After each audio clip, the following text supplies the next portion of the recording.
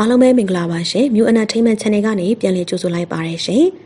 ကျမတို့ရဲ့ channel ဟာဆိုရင်စိတ်ဝင်စားစရာကောင်းတဲ့အကြောင်းအရာတွေကိုတင်ဆက်ပေးနေပါတယ်ဒီနေ့မှလည်းဘယ်လိုမျိုးစိတ်ဝင်စားစရာကောင်းတဲ့ဇာတ်လမ်းလေးကိုတင်ဆက်ပေးအောင်မလဲဆိုတာဗီဒီယိုလေးကိုအဆုံးထိလိုက်ပါကြည့်ရှုပေးပါအောင်နော်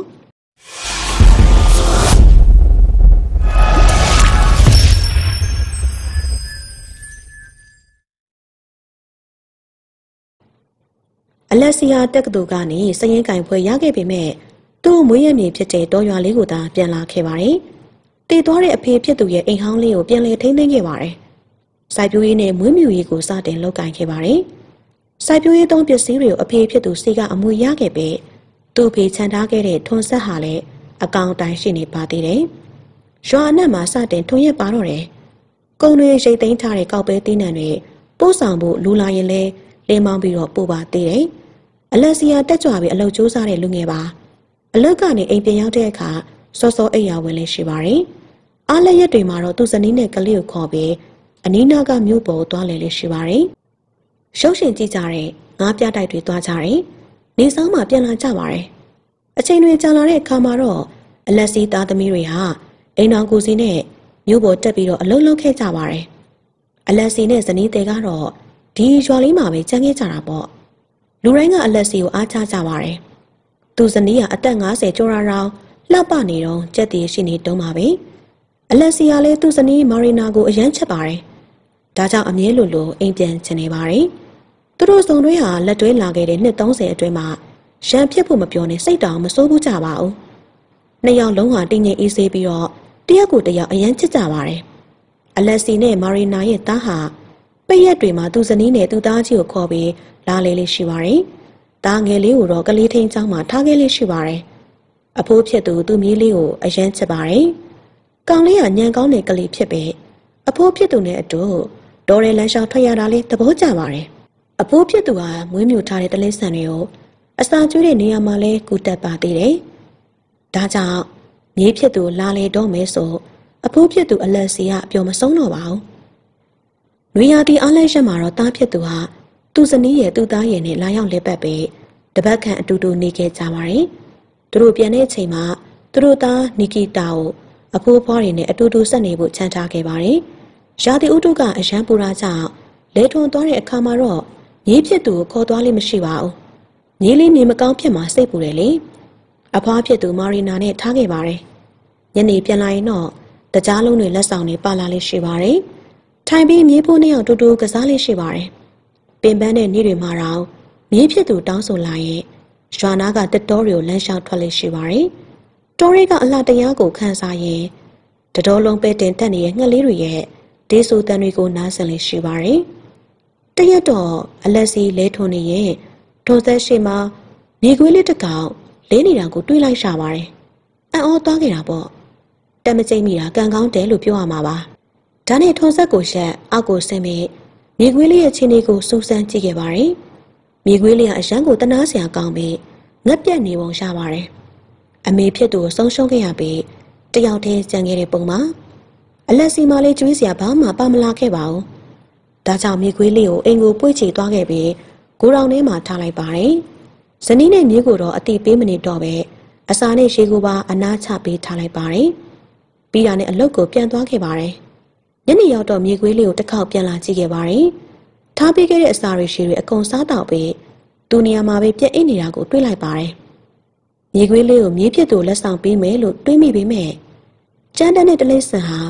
မြေဖြစ်သူကိုအန်တရဲ့ပေးမှဆိုတာကြောင့်ဒီမြေခွေးလေးဟာ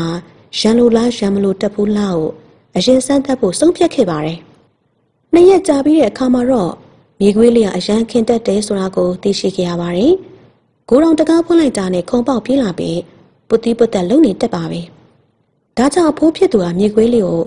မြေဖြစ်သူကိုလက်ဆောင်ပေးခဲ့ပြီးဂယုတဆိုင်မွေးဖို့နဲ့ကျင်းကျင်းနာနာဆက်ဆံမှုပြောပြခဲ့ပါတယ်။မာရီနာကတော့မြေခွေးလေးကိုကြောက်ပြီးသူ့မြေအတွက်စိတ်ပူခဲ့ပေမဲ့လည်းအချိန်ကြာလာတာနဲ့မျှမြေခွေးလေးကအန်တရမပြုတ်တဲ့တတဝါဖြစ်ကြောင်းနားလည်လာခဲ့ပါတယ်။ဒါကြောင့်မြေခွေးလေးကိုအိမ်ထဲကလူတွေကလည်းချစ်ပြီးတော့တန်ရောစင်တွေ့လာခဲ့ကြပါတယ်။မြေခွေးလေးပြန်ကျမ်းမာလာရင်တောထဲမှာပြန်လွတ်ပေးဖို့တွေးခဲ့ပေမဲ့နှစ်ချက်ကြောင့်အလုံးမဖြစ်တော့ပါဘူး ပထမတစ်ချက်ကမြေခွေးလေးဟာငငယ်လေးရှိပြီးအမဲမလိုက်တတ်ပါဘူးစံကျင်ဘက်အနေနဲ့သူဟာတားကောင်ပြန်ဖြတ်သွားနိုင်ပါတယ်ဒုတိယကတော့မြေးဖြစ်သူဟာမြေခွေးလေးကိုအရန်ချစ်ပြီးခွဲထားလို့မရတော့လို့ပါပဲမြေခွေးလေးဟာသူ့ရဲ့အကောင်းဆုံးတငယ်ချင်းဖြစ်လာခဲ့ပြီးခြံထဲမှာအမြဲလိုအတူတူကစားလေးရှိပါတယ်မြေးဖြစ်သူပြောတာကိုမြင်ရတဲ့အလက်စီကလည်းအရင်ကိုပျော်ရွှင်ရပါတယ်ဒါကြောင့်လူရသည်ပရက်တွေကုံဆုံးပြီးအလက်စီပြန်သွားတဲ့အထိ မြေခွေးလေးကိုဆက်မွေးထားဖို့ဆုံးဖြတ်လိုက်ပါတယ်အချိန်နဲ့အမျှမြေခွေးလေးဟာထွားလာပြီးအိမ်ထဲမှာလည်းရှောက်သွားတက်လာပါတယ်မြေခွေးဟာကြွတ်တွေကိုဖမ်းပြီးတော့စားပစ်ပါတယ်ဒါကြောင့်အစာကျွေးစရာမလိုတော့ပါဘူးမြေခွေးလေးဟာမုတ်ဆိုးဖြစ်လာပါပြီနီကီတာကတော့မြေခွေးလေးအမဲလိုက်တာကြွတ်တွေကိုဖမ်းစားထားတွေကိုလိုက်ကြည့်တတ်ပါတယ်တလိษံတကောင်ကအမဲလိုက်တာမမြင်ဘူးတဲ့နီကီတာအတွက်တော့ဒါအရန်စိတ်ဝင်စားစရာကောင်းပါတယ် ဒီလိုနဲ့နီကီတာပြန်တော့မဲ့ချိန်ကနီးလာပါပြီအဖိုးစီကနေမြေခွေးလေးကိုခေါ်သွားခွင့်တောင်းခဲ့ပါတယ်ဒါပေမဲ့အလက်စီကတော့မြေခွေးလေးကိုစောင့်နေတဲ့မိသားစုရှိတာကြောင့်တိုးရီကိုပြန်ပို့ပေးရမယ်ဆိုပြီးခေါ်သွားခွင့်မပေးခဲ့ပါဘူး။ကျောင်းပိတ်တိုင်းဒီကိုပြန်လာခဲ့ဖို့ပြောပါတယ်။မြေခွေးလေးကဝေးဝေးလန့်လန့်သွားမှမဟုတ်ပဲဒီရွာနာဝင်းကျင်ကတိုးရီမှာပဲချက်စားနေမှာဖြစ်တဲ့အကြောင်းလေးပြောပြရင်ပေါ့။နီကီတာအပြန်ကားပေါ်တက်သွားတဲ့အချိန်မှာတော့ မြေခွေးလေးကကားနောက်ကနေမှီနိုင်တဲ့လောက်ထိလိုက်လာခဲ့ပါသေးတယ်။မြင်ရသူတိုင်းစိတ်မကောင်းဖြစ်ရတဲ့မြင်ကွင်းလေးပေါ့။အလက်စီနဲ့မာရီနာလည်းမြေခွေးလေးကိုဆက်ပြီးတော့မွေးထားခဲ့ကြပါတယ်။နောက်တော့မြေခွေးလေးဟာတောရီကိုဝင်သွားပြီးတော့အဲ့ဒီမှာပဲကျင်လေချက်စားပါတော့တယ်။အစကတော့သူတို့စီမကြမကြလားလဲတက်ပေမဲ့နောက်လာတွေကြားတဲ့အခါမှာတော့မြေခွေးဟာပေါ်မလာတော့ပါဘူး။တားပေါက်နေရလဲဖြစ်ကောင်းဖြစ်နိုင်ပါတယ်။တနေ့ကြာပြီးတဲ့နောက်မှာတော့ နီကီတာအဖေဖြစ်သူနဲ့ညီဖြစ်သူဆာရှာတူတို့နဲ့အတူအဖိုးရှိရာရွာကိုအလဲရောက်လာခဲ့ပါတယ်။ရောက်တာနဲ့တငယ်ချင်းမြေခွေးကိုတိမ်လုံးမှာလိုက်ရှာပါတော့တယ်။အဖိုးဖြစ်သူဟာနီကီတာမြေခွေးလေးကဒီမှာမရှိတော့ပဲတောထဲထွက်သွားပြီးမျိုးတူတငယ်ချင်းတွေနဲ့တောထဲမှာနီးနီးချောင်းပြောပြခဲ့ပါတယ်။ကောင်လေးလည်းတက်ပြင်းချပြီးမြေခွေးကိုအရန်တတိရနေတာကြောင့်မြေခွေးစီလိုက်ပို့ပေးဖို့အဖိုးဖြစ်သူကိုတောင်းဆိုခဲ့ပါတယ်။ အဖိုးဖြစ်သူကမြေကိုခေါ်ပြီးတောထဲမှာခဏခဏလိုက်ရှာခဲ့ပေမဲ့မြေခွေးကိုမတွေ့ရပါဘူး။ဒါကြောင့်မြေခွေးဟာဒီနာဝင်းကျင်မှာမရှိတော့တာကြောင့်စိတ်ထဲကနေထုတ်ဖြစ်ဖို့မြေဖြစ်သူပြောခဲ့တာပေါ့နီကီတာလေးမြေခွေးဟာသူ့ရဲ့တလိษံကဘာထဲမှာယူတူတငယ်ချင်းတွေမိသားစုတွေနဲ့နေနေလောက်ပြီးဆိုတာ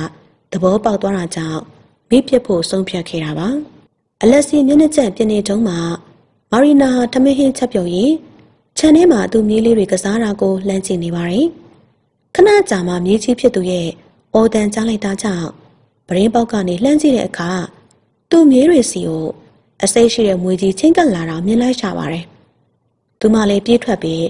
မွေအဝေးကိုပြေးသွားအောင်ခြောက်လန့်ပါတော့တယ်။မွေကြီးဟာသူမကိုပြန်လှည့်ပြီးရန်ပြူတာကြောင့်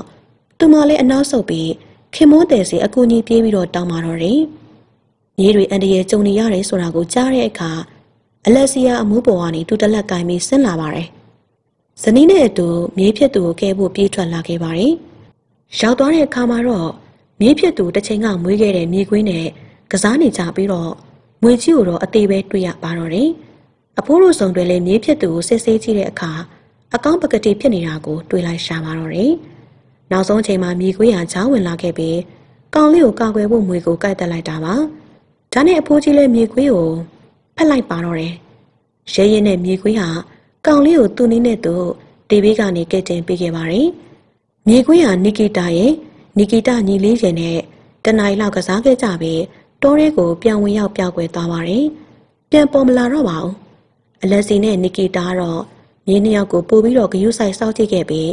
မျက်ထူတဲ့နေရာတွေမှာပေးမကစားတော့ပါဘူး။ပြီးတော့ငငယ်ကကြိရှိုးစောက်ရှောက်ကာကွယ်ပေးခဲ့သူဟာလည်းအရွယ်ရောက်ပြီးတမလာတဲ့အခါ သူ့ကိုစောက်ရှောက်ခဲ့တဲ့မိသားစုအတွက်အသက်ပေးဖို့တောင်ဝင်မလေးဘူးဆိုတာနားလည်သဘောပေါက်ခဲ့ပါတယ်။ပရိသတ်များရှင်အခုတက်ဆက်ပေးခဲ့တဲ့ဗီဒီယိုလေးကိုကြိုက်နေတက်လိမ့်မယ်လို့ထင်ပါတယ်။နောက်ရက်တွေမှာလည်းဗီဒီယိုအသစ်တွေကိုပရိသတ်တွေအတွက်တင်ဆက်ပေးသွားမှာမို့ပရိသတ်တွေဟာစောင့်မျှော်ကြည့်ရှုအားပေးပါအောင်နော်ကျေးဇူးတင်ပါတယ်ရှင်။